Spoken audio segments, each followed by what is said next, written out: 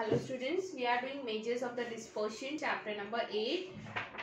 Now we will see the topic change of origin and scale.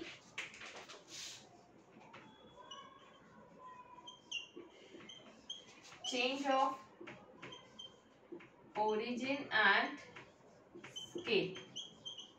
See, we have seen uh, variance and the standard deviation for the different types of data in the previous class. And I have told you that there is one method which is very useful to find out the variance when the quantities the xi's are large in magnitude okay? So for that we will see this concept change of origin and scale okay? So the first of all the variance and the standard deviation are independent of the change of origin. That means if you have xi's x1 x2 x3 and xn these are the xi's and of course sigma square x will be what?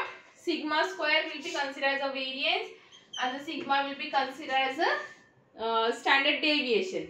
Now if you subtract the constant from each of the xi's x1 minus a x2 minus a xn minus a okay? And if you obtain the new observation then this sigma the variance will remain unchanged. It will not get changed if you subtract and if you find out the deviation from each of the observation. Okay? So this is very useful while doing the problems. So the sigma for this we will consider as a u. We will consider this as u1 this as u2 and this as un so the, this is sigma variance of xi's and the variance of ui will be same as this variance. So the variance and the SD are the independent if you change the origin. Okay, origin of all xi's. Similarly, and now this is A. A is what it is considered as a class mark. That means if you have 10 to 20, 20 to 30, 30 to 40 and 40 to 50, 50 to 60. Here it is 1, 2, 3, 4 and 5. So, how you will decide this quantity A? So, for that, you have to first of all find out the class mark. Class mark means a middle value. So, 10, 20, 10 plus 20, 30, 15, 25, 35, then 45 and 55. So here the odd number of observations are given 1, 2, 3, 4, 5. So the middle value will be considered as a A. Okay. Because here the odd number of observations are there. Odd number of classes are there. If you have even means one more column is there 0 to 10 and the frequency is 0. Frequency cannot be equal to 0. Suppose this is 2. Then in that case how you will decide this A? For that you have to consider these two middle classes as a class mark and then you have to look at the frequency. Whoever having the biggest, the maximum frequency will consider as a, we will consider that class for considering A. Okay. That we will see in detail while doing the problem. Now this is about change of origin. We are changing the origin okay and we are obtaining the new variable as u1 u2 un now similarly you can also change the scale. Okay? So the variance and the standard deviation are not independent of change of scale. So if you change origin then the variance of the new variable and the variance of the old variable will be as it is. There will be no change in that. But if you change together a origin if you also change scale then the value will get change okay? And there is a small change that i'll show you.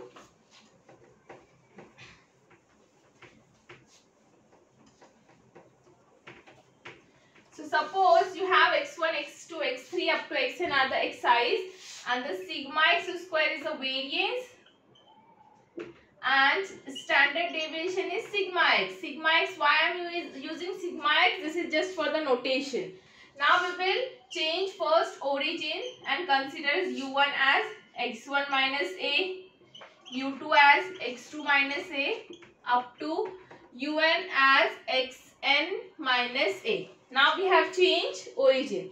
Also we will change scale by dividing it h okay so H is nothing but the class with जो भी class का difference रहेगा ten to twenty so here the difference is ten so we will consider H as a ten so here we have change origin as well as scale then in this case the new variance for the new variable U I and the standard deviation for the U I will not same as uh U S okay it will not same as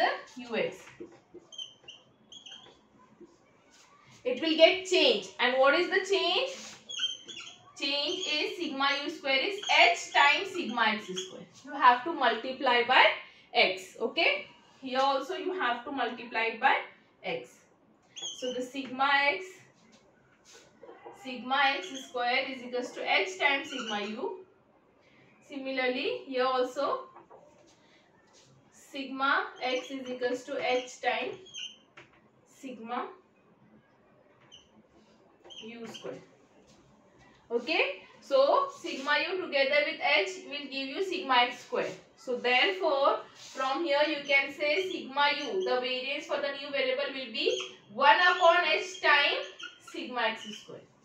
1 upon h time. And similarly the standard deviation sigma u will be 1 upon h time sigma x.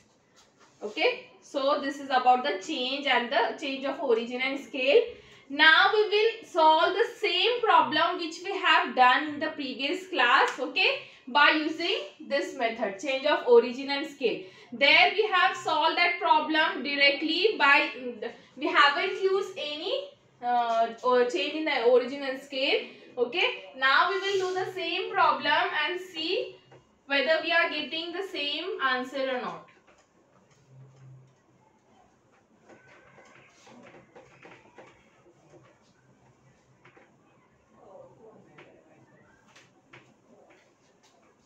Okay. So I am doing problem which is given on page number 183. Problem number 5. Okay. Compute the variance and the standard deviation for the following data. So I am directly writing down the class interval. I am directly solving it. Okay. Uh, class intervals. Then frequencies then we'll require xi that is midpoint, right? Then for the mean, we will require xi, fi or directly we will calculate first ui. So the ui is what? ui will be considered as xi minus a.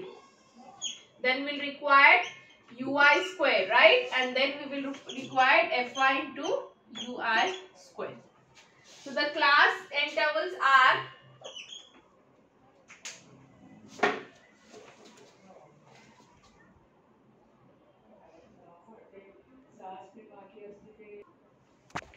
So the class intervals are 45 to 55, 55 to 65, 65 to 75, 75 to 85, 85 to 95, 95 to 105, 105 to 115 and 115 to 125.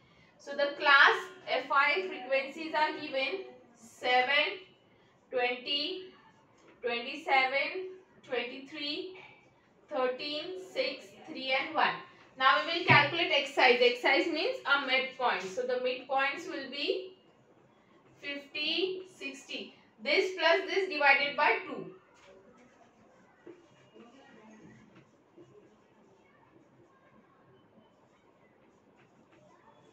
Okay? And here the capital N addition of all this is equals to 100 now what we will do?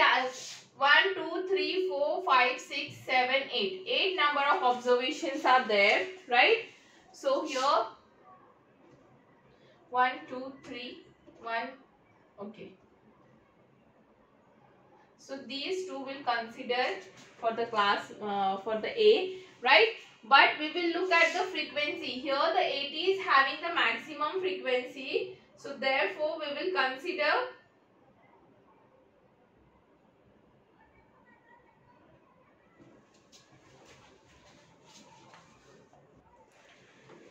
So here the 80 is having the maximum frequency. So we will consider 80 as A. Okay. So here also we will add one more column. Why? That I'll tell you. Okay. So A is equals to what? 80. Now 50 minus 80. It will give you minus 30. Then uh, 60 minus 80 minus 20 minus 10 0 10 20 30 and 40 okay now here here the magnitudes uh, the number is having the large magnitude uh, 30 20 so we will also change the scale so the ui will be xi minus a upon h. Okay? We will also uh, uh, divided by 10 h is equals to what? 10 here because there is a the difference between them is with this 10 so minus 3 minus 2 minus 1 0 1 2 3 and 4 now you can see the x's and you can see you can compare with ui's okay? So these entries become more simple now we will require ui square and then fi into ui square. So ui square is 9, then 4, 1, 0, 1, 4, 9 and 16. Okay. Then fi with ui square. So here the fi is like this. 7 into 9. Okay. Then 20 into 4 we will do all the calculations.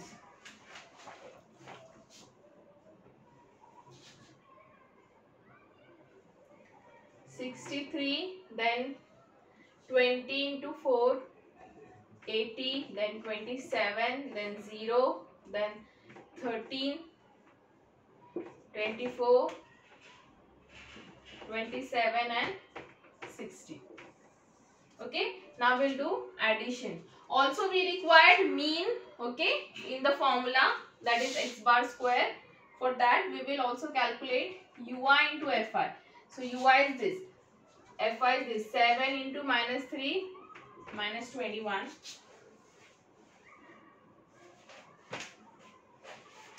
Then 20 into minus 2 minus 40. 27 into minus 1 27. 23 into 0 0.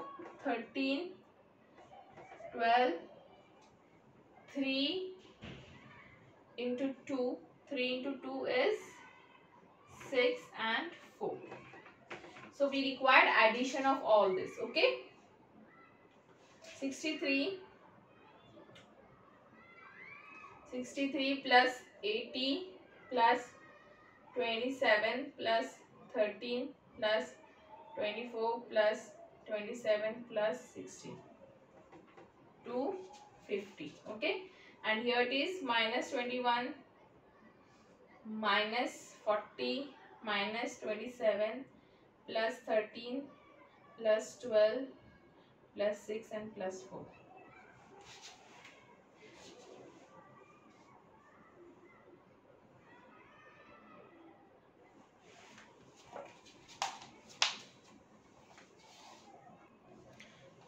So here the addition is coming minus 50. Therefore, u bar, right? The mean that is summation of ui into fi divided by n. So summation of ui fi is minus 50 upon 100. So it will be minus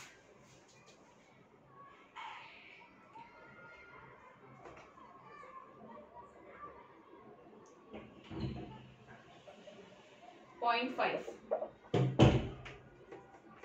with minus sign. Okay. Now we will apply the formula for the variance, right? So therefore the sigma u square, this is sigma u. So the variance of u will be summation of fi into ui square upon n minus u bar the whole square. So fi into ui is 250 upon 100 minus minus of 0.5 the whole square. So if you calculate this then you will get the answer 2.25 as sigma u square okay 2.25 as a sigma u square. Now since we have changed the original scale therefore we have to find out the variance of x right? So we will apply that formula.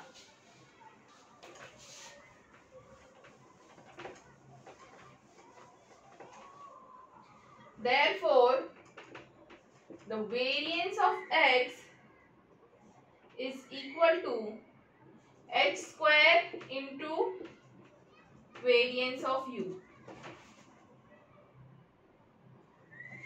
Okay so h square is 10 square into variance of u is 2.25 so the answer will be 225 and therefore the sigma standard deviation will be under root of variance of x. That is under root of 225 that is 50 okay so we got the same answer but here we require the less calculation because the numbers get simplified if you change its origin and scale.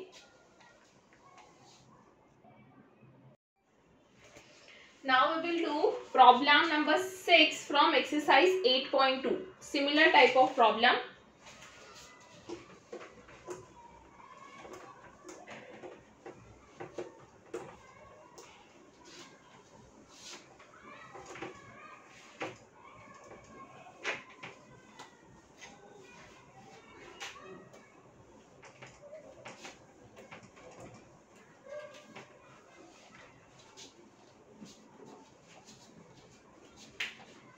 Find the mean, variance and the standard deviation of the following data. Okay, so I am directly write down in the table form 10 to 20, 20 to 30, 30 to 40, 40 to 50, 50 to 60, 70, 80, 90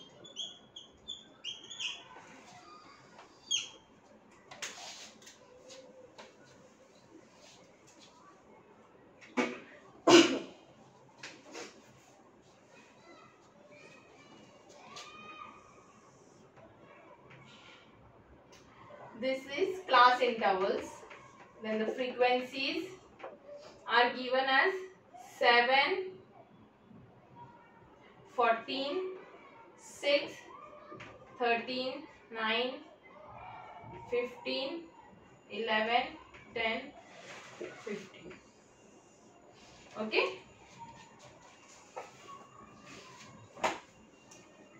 Now first of all we will calculate the x size 10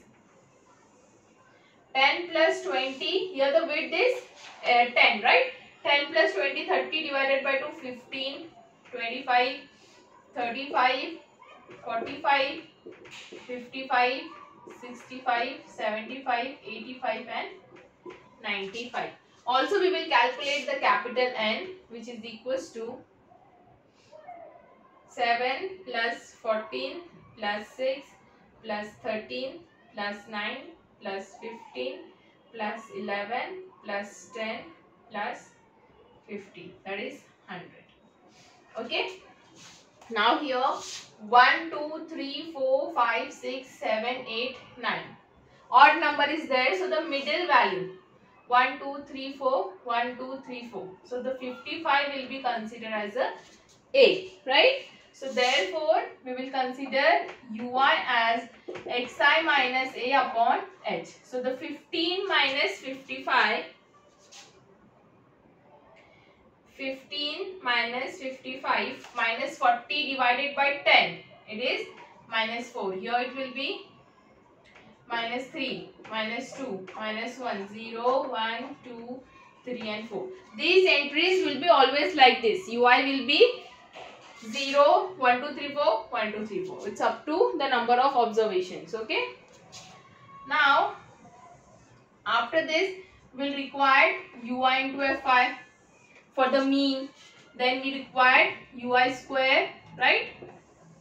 And the last column is ui square into fi fi okay so first of all we will calculate ui into fi 7 into minus 24 it is then 14 into 3 42 minus 42 minus 12 minus 13 0 15 22 30 and 60 okay? So this is ui into fi then we required ui squared. So it is 16 9 4 1 0 1 4 9 and 16 then the ui square into f1. this into this.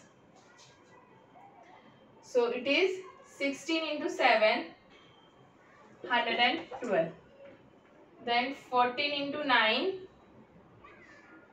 126 then 6 into 4 24 13 into 1 13 9 into 0 0 15 11 into 4 44 10 into 9 90 and 15 into 16 240 okay?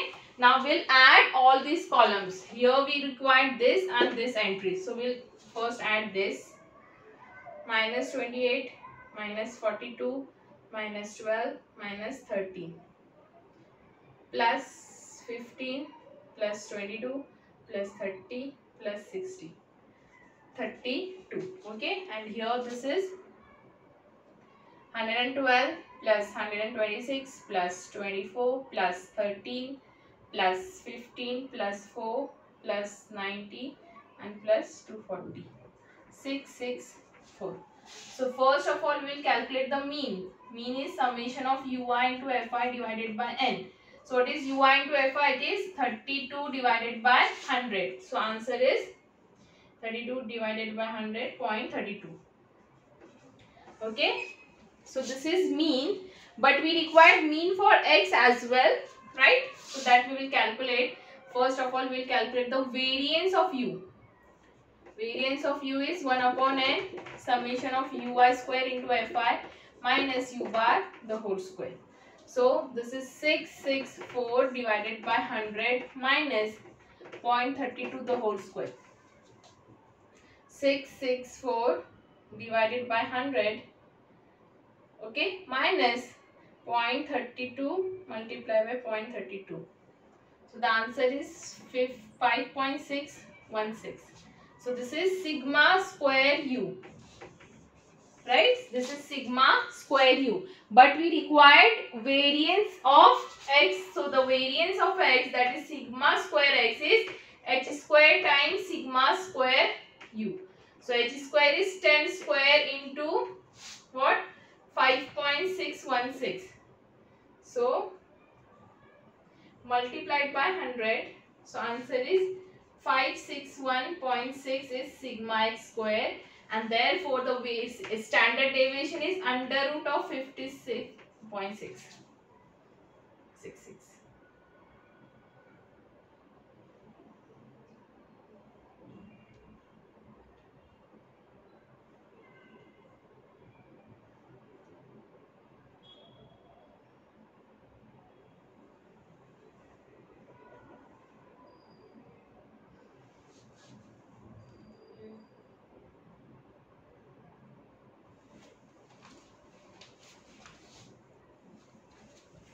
See here the answer is we did a uh, small mistake 64 divided by 100 minus 0.32 multiplied by 0.32 6 point answer is 6.5376 okay here also 6.5376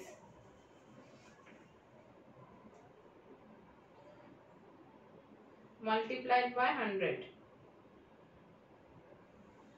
653.76 and under root of this is 653.76 so the answer is 2.25 point under root of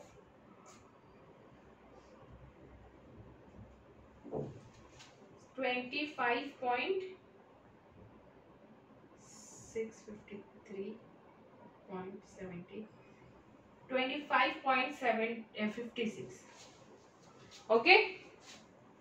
So here this is the variance of u and this is the variance and the standard deviation for the x. Also you can find out the mean by just adding it. So the mean will be x bar will be u bar it will be a plus u bar uh, let me just check the formula so the formula for the mean x bar it will be a plus the capital A plus u bar multiplied by h. So A is 55. We have taken A as 55. U bar we have got as 0.32 multiplied by h. h is 10. Okay. So if you do this you will get the answer 58.2. So this is your x bar. Okay. So this is about the calculation of a variance with the help of change of origin and scale. Okay. Now the next is the question number uh, exercise 8.2 question number 7. Okay. This is for your homework. Just try to do it. Now we will see the standard deviation for the combined data. Here we have only one data, right? Now we will see the formula for the standard deviation for the combined data.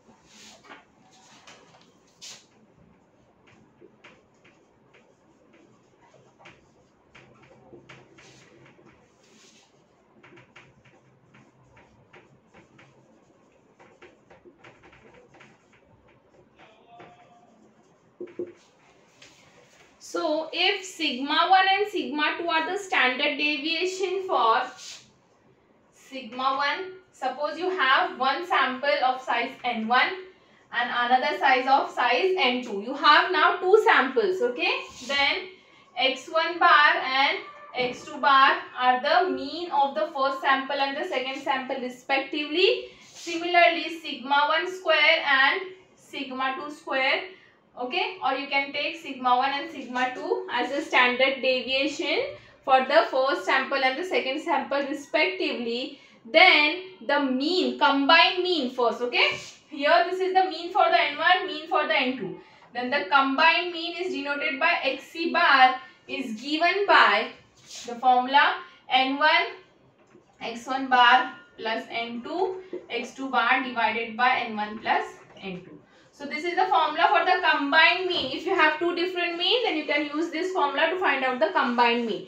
Similarly, the formula for the standard deviation, it is denoted by sigma c and it is equals to under root of, okay, under root of n1 sigma 1 square plus d1 square plus n2 times sigma 2 square plus d2 square divided by n1 plus n2. See, we have sigma 1, we have n1, but we don't have d1, right? In this formula. So, here the d1 is calculated by x1 minus xc bar and the d2 will be x2 bar minus xc bar. Okay, so first of all, you have to find out the combined mean then you have to obtain D1 and how you will obtain D1? You have to subtract this combined mean from the x1 bar. That is the mean for the first sample. So you will get the D1 which will required in this formula.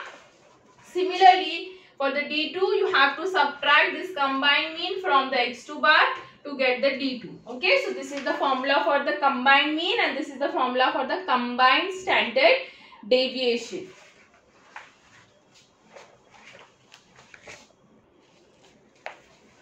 So, we have uh, some example based on this combined mean and combined standard deviation that we will see next class. And also one more topic is left from this chapter that is coefficient of variation that also we will consider uh, that will also do in the next class. Okay.